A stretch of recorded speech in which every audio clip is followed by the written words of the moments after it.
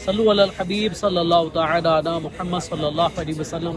इस वक्त मैं मक्का पाक में हाजिर हूँ और जगह भी कितनी प्यारी है, जन्नतुल माला। यहाँ पर हज़रत खतीजतुल कुबरा, उम्मुल हम सब की अम्मी जान रदी अल्लाह तना का मदार भी है।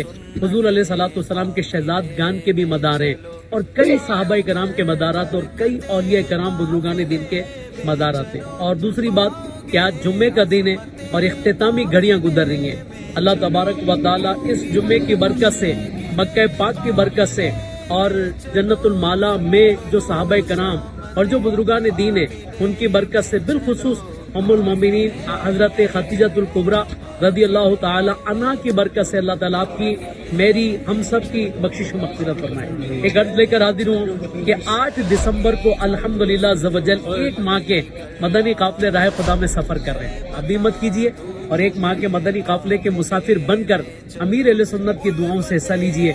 और मैं भी यहाँ से दुआ करता हूँ कि अल्लाह तबारक व जो एक माह के मदनी काफले में आठ दिसंबर को सफ़र करे, उन्हें बार बार मक्के मदीने की हाजिरी के सादा तता फरमा। आमीन। बिजाय खातम नबीन वसल्लम। याद रखें कि आपने भी सफ़र करना है और अपने साथ दीगर इस्लामी भाइयों को भी तैयार करके मदनी काफलों का मुसाफिर बनाना है। अल्लाह ताला हम सब की बख्शिश मकफिरत फरमाए। सल्लु अल हबीब सल्लल्लाहु